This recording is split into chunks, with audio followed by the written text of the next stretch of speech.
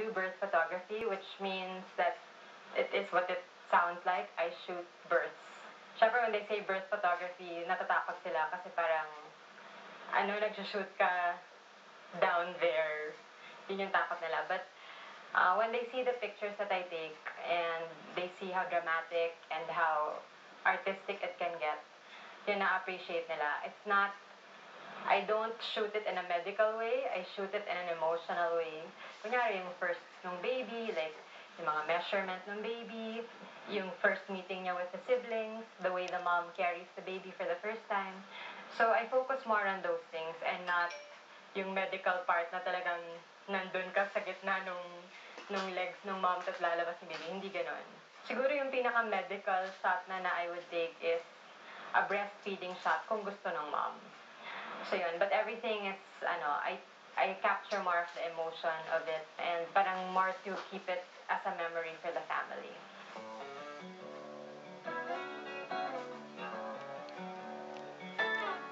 By nature, I'm really an emotional person. So, a lot of my friends, and yung the clients that I've shot, they think na in, in that way, this kind of photography is perfect for me.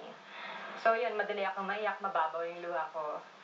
So parang when I get into the scene, when I when I go into the hospital room, parang I'm immediately immersed in that situation na parang there's this family, kakarating lang nitong baby, especially na kung firstborn nila yung, yung baby. So, when I see it, and I know it right away, I, I take it.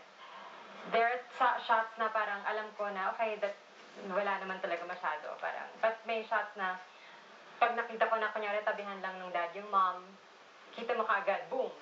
So, I take it right away. So, yun, in that sense, kailangan mabilis rin ako. Uh, because, syempre, ayoko na pinopost yung mga tao. Ayoko na parang, oy, dad, tayo ka naman dito para mukhang, parang nag-hug kayo. Hindi, kailangan, I'm catching it as it really happens. If the dad is gonna leave to, like, minsan bibili lang siya ng food for the mom, syempre lalapitan niyo muna yung mom, ikikiss niya yung mom. Ina-anticipate ko na yun. So I don't make it happen. I let it unfold and then I take it as it's unfolding naturally. The most I would pose a dad is if kunyari, karga niya yung baby, tapos minsan, I'll take them as is. And then minsan, I'll say, oh, dad, smile naman dito. Pero yun na yung pinaka-posing na gagawin ko. I will never fabricate yung scenario. I will always, parang, my style is documentary, so I, I have I put a lot of integrity in yun, capturing what is really happening and not making it happen.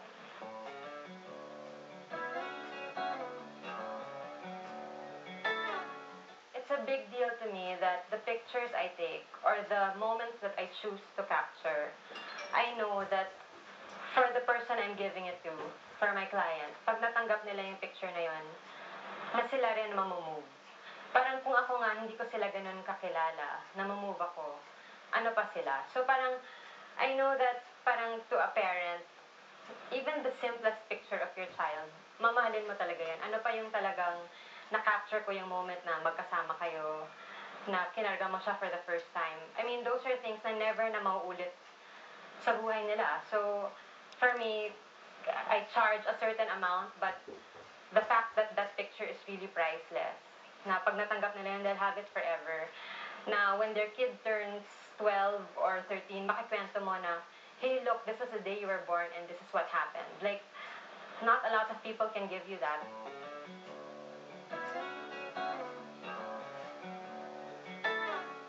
With birth photography, the biggest challenge is the fact that uh, everything is unexpected. I mean, every birth happens differently. Um, even if you try to plan and plan and you say that, okay, usapan ninyo ng client, mag-shoot kayo sa hospital room or sa nursery or sa delivery room, uh, kahit na pinag-usapan nyo na yun, lahat yun hindi mo alam talaga kung paano mangyayari hanggat dumating ka na doon. Kasi when you get there, biglang, you know, the doctor pala might not allow this, or biglang sa nursery, hindi ka papapasukin. So, ano, kailangan handa ka talaga for any, any situation. And then, of course, if you're shooting a full delivery na parang simula nung nung labor pa lang nandun ka na. Siyempre, hindi mo alam gaano katagal bago mga anak, di ba? Kailangan handa ka to stay.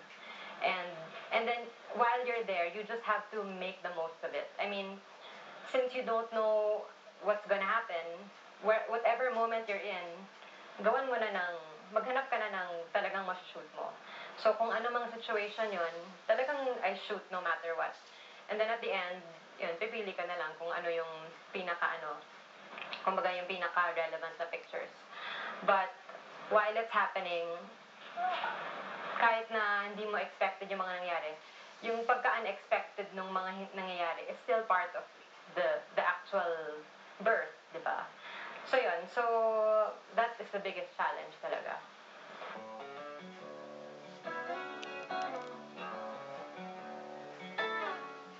Most rewarding is really when you see uh, the parents' faces when they see the pictures. Um, sometimes you show them on the spot, but but then sometimes you sa CD na lang nila nakakita.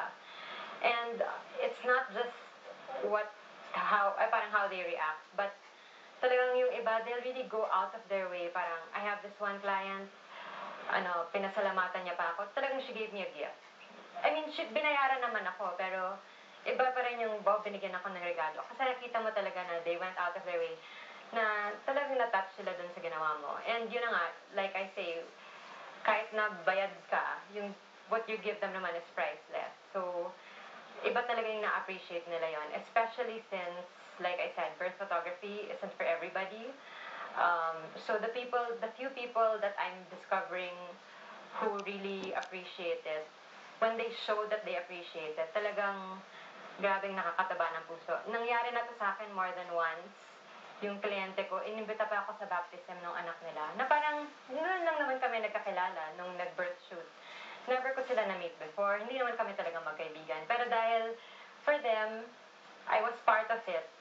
Naging medyo magkaibigan na kami. Tapos parang for them to invite me to the baptism, sobrang big deal for me yon. And ano, whether nakakapunta ako or hindi, talagang I show them na, wow, sobrang touched talaga ako. So yun, parang it's really that. It's not the monetary um, reward kasi parang nawala pa masyado dahil bago pa sa bago pa yung concept.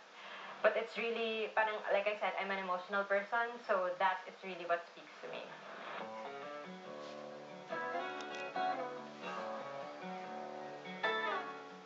I really want to hone the technical part. I'm new to the craft. I've always liked and appreciated beautiful pictures. And All the veterans will tell you, kailangan years of practice. And yun, as much as possible, try to shoot every day. So, parang for me, it's more of the technical part na lang.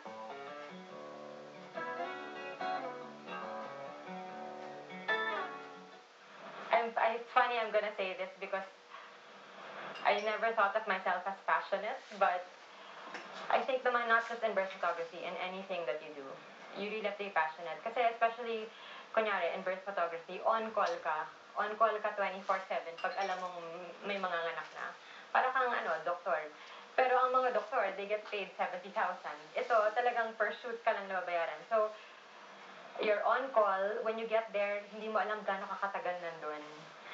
But, you know, it's not the money. It's, it's really that you want to have a good result.